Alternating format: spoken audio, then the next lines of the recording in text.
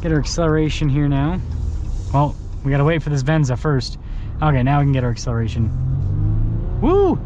Hey everyone, it's Ben Hardy here, and in today's video, I'm going to be going over the all-new 2023 Ram 1500 Bighorn, and this one has the EcoDiesel, and this is going to be one of the last EcoDiesels ever produced because, well, they're getting rid of the engine. But anyways, before we get into this video, a huge shout out and thank you to the Larry Miller Dodge Ram here in Sandy, Utah for giving me some time with this truck.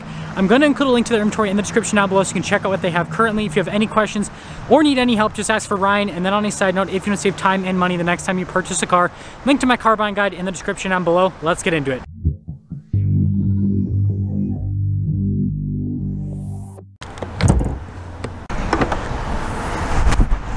So under the hood, we have a turbocharged 3 liter V6 diesel known as the EcoDiesel that goes through an 8-speed automatic transmission. Fuel economy is 21 around town and then 29 on the highway with power outputs being 260 horsepower and then 480 pound-feet of torque. Now, before we go to the front end, I do to mention, if you want to see more videos just like this, then I recommend you subscribe because I post content every single day. So starting off with the hood itself, you can see it's raised there on the center and it kind of falls off on either side. And then of course we have our 1500 EcoDiesel badge. And then popping down below, being a Bighorn, you've got the halogen lights. Notice got the chrome trim around the grill. You've got the fog lights. No tow hooks on this particular one though. And then the rest of the grill's, you know, blacked out. And putting it all together, looks pretty cool. Around the side here, our tire wheel setup is 275, 65, 18 in the front and over in the rear as well. And then you guys can see here with the wheel itself, you got like a silver coloration on it, and I think it looks pretty cool. We've got the Ram logo here on the side, and then you guys can see we've got the fixed side step, which actually goes from wheel to wheel. Pretty neat. We've got the trailer tow mirrors in this one, and then also you've got the blacked out door handles. Now it's kind of hard to see, but just like all other new Rams, it has multi-link in the rear and then a solid rear axle. And then taking a look at the side view, I do like the molding there for the fenders and hmm, it's good looking like work truck look. So here's our key fob. We have our unlock function, our lock function, and then remote start. And then you got the Ram logo there on the back. Bada bing, bada boom. You can see it kind of slow lowers down. Payload capacity is 1,520 pounds with this particular truck. And then when it comes to bed features, this one doesn't really have anything, but it's got a bed. And then lifting up the tailgate, really light. Now we've got the base bighorn taillights here and then you guys can see all of the badges here on the back end, exhaust tips there at either side. Um, now when it comes to towing capacity, this one has a 3.92 axle ratio, which would put the towing capacity somewhere in that like 9,000, 10,000-ish pound range. And then putting it all together, this, you know, has that, uh, like I said, kind of like work truck appearance to it on the outside. Now with the rear door panel, you guys can see cloth trim here and then look at the blacked out trim just up above. And then we've got really nice padding down below. And I like the two-tone theme with like the black and the gray. Now with these seats, you guys can see really cool gray cloth and then look at like the center portion of the seat as well. And you guys know I'm a huge fan of the Bighorn seats because they're just so comfortable. And there is nice storage space underneath. And then of course we got the little ice buckets Legroom here in the back is really solid. We've got a little storage pocket here, and then you can see we've got some vents and some more storage. And then headroom's also great. And don't you worry, this has a cup holder armrest. Now with the front door panel, you guys can see again with the black trim, then look at the cloth trim down below and then the padding as well. And then we've got all of our window controls, notice the front two are automatic, and then you've got your mirror adjustments here. And like I said, it has the trailer mirrors. We got the cloth front seats here and then look at the inserts in the center portion of the seat. And the seat is manually adjustable. We've got our parking brake right here and then you can see the light control just up above. Notice with the fog light and the cargo light. And then the steering wheel itself is manually adjustable.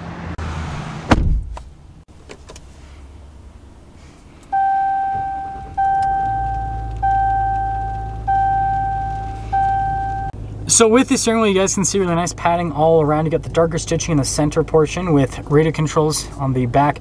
Cruise control here on the front with our gear limiter. And then notice we got like our voice command phone controls and then some controls for the center stack. And then turn signal windshield wiper stock. Now, I initially thought that the new Bighorn was gonna come standard with the digital gauge cluster, and that's what a lot of sources said, but here's a 23 Bighorn and here's not a digital gauge cluster, so it must be an option with the Bighorn package. Um, but anyways, you can scroll through a bunch of different menus here with the Bighorn, see different bits of info on the vehicle itself. Pretty standard stuff. And then with the backup camera, you guys can see we've got a zoom function here that, there we go, apparently didn't want to work right away. Resolution's pretty good, and then trajectory lines turn with the steering wheel. Now, as for the rest of the infotainment system, um, first off, response time with the screen is pretty solid. Okay, we'll get that okay out of the way. Um, it's like a clicky sound. That is weird. Um, but functions similar to the larger screen. Notice has Android Auto, for example, um, just in smaller format, right? Now down below, we've got analog controls here for the radio. We have heated seats and a heated steering wheel here. Single zone climate. You got your tow haul mode, stability control, trailer brake controls already integrated from the factory. And I forgot to mention, nice black trim here with the 12 volt. We've got the dial shifter here for the 8-speed automatic. We do have our two-wheel drive, four-wheel auto, four-wheel high, and then our four-wheel low as well. Got a bunch of USB action happening down below, and then you guys can see here, bada bing, bada boom, got like our storage space thing right there. So we have this center console seat type situation. Nice seat. Uh, I do believe it has storage at the bottom too. Look at that! Lots of storage. Now, the glove box says Bighorn on it, which is pretty cool, and then decent storage in there, and then also down below as well. We have a regular mirror here, and then we have a power sliding rear window, and then just a darker colored headliner. So it's kind of hard to see because of the water. Maybe this will help out a little bit. There we go. 2023 Bighorn. And uh, this has quite a few options added to it. So the 28Z package and then 392 axle ratio, EcoDiesel, which is $5,500. Wow. Um, after all options, this one stickers for $61,060. Doo -doo -doo. Let's see how it drives.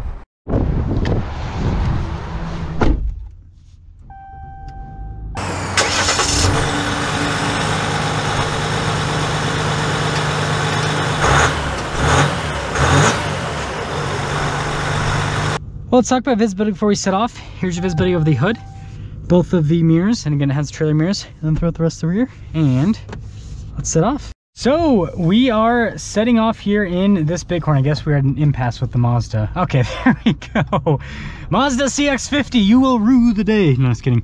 But anyways, I've driven uh, few Rams today. I started off with a Rebel, then I went to a Limited, and now we're at a Bighorn. I guess I did it in kind of like an opposite order. I actually went from the, yeah, because the Rebel was actually more expensive than the Limited, if I remember right. So I went from the most expensive truck to the least expensive uh, truck. Most people try to do the opposite so that they don't uh, make it so that they have expensive taste and then realize that uh, their budget can only afford so much. But anyways, with this truck, uh, it rides really well. Um, the suspension's very comfortable. Again, just having the standard multi-link is great. Now, this isn't as comfortable as an air suspension truck like that Limited that I drove, but it's still really good. Um, some other stuff, tons of torque out of the EcoDiesel. With the 392 axle ratio, it really feels punchy. It's, it's strong. So I think that that is a big plus. Yeah, and going over these bumps and everything, it does a solid job. let's see how it goes over this. Yeah, pretty pretty solid actually. Steering's great with the new Ram 1500. It's um, pretty dang direct and it's light as well. So, you know, for a truck steering rack, that's what you want, right? You don't want it to be going all over the place. Like you see, I can turn the steering wheel and it actually does something pretty much immediately. So moving along with the Bighorn, yeah, so much torque. It's the big thing here. Thank goodness I'm not, I'm not in that part of the road because potholes everywhere, wow. But yeah, this thing just moves. It's super smooth too. I love this powertrain. I'm so sad that Ram's getting rid of it. It's such a shame. That is for sure. Get our acceleration here now. Well, we gotta wait for this Venza first. Okay, now we can get our acceleration. Woo! Ah, it's so torquey. It's not as quick as like a truck with a 5.7 Hemi, but like, I don't know, the torque is just great. I've said torque like 50 times in this video. Start start taking shots. Um, but anyways, to sum things up here with the Bighorn, I'm actually gonna turn on the heated steering wheel because my hands are getting a little chilly. I think this truck looks great on the outside. You know, from, from a work truck perspective, I'm a huge fan of the Bighorn interior. It's definitely like a premium feeling, you know, entry level interior, if that makes sense. The seats feel really nice. They're very, very comfortable. And then I love how this truck drives. Suspension's great. Um, it's comfortable with that multi-link. And with the 392 axle ratio, this EcoDiesel moves. And I think it's a great powertrain. Um, this powertrain obviously was kind of given a bad rep because of the last version, but this new iteration is a lot more reliable and it's more powerful. It's still very economical. So there's a lot to love about it. So yeah, this is really, it's your last chance to get an eco-diesel. So if you are looking for a Ram 1500 with a diesel powertrain, then you gotta get one now or else you're gonna have to buy a used one and who knows what the used values will do. Like everyone thinks that because a vehicle gets discontinued the used values will like skyrocket and sometimes that happens with some vehicles. Other vehicles however it doesn't necessarily happen and so we will just have to see. Um, but i guess historically the ecodiesels have you know held their value pretty well.